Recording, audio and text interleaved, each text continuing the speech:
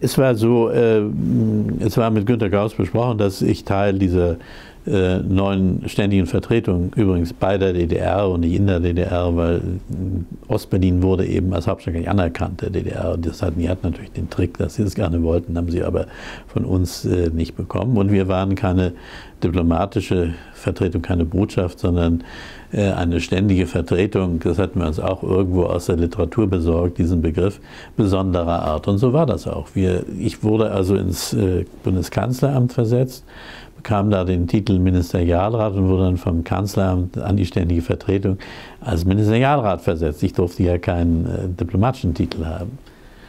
Und äh, meine, äh, meine Berufung lag auch daran, dass ich nun mitgewirkt hatte da, an diesen ganzen Dingen. Ich, das galt ja auch für den Grundlagenvertrag, obwohl Herr Bräutigam das verhandelt hat und den Verkehrsvertrag und diese ganzen anderen innerdeutschen Vereinbarungen, äh, sodass es irgendwo ja auch nahe lag, äh, wenn man angeboten bekam, äh, nach äh, Ostberlin zu gehen. Ich hatte dann das ähm, außenpolitische Referat in der politischen Abteilung und ähm, habe mich dann eben auch um die Ostblockstaaten da gekümmert, das diplomatische Korps und die Außenpolitik der DDR in Anführungsstrichen.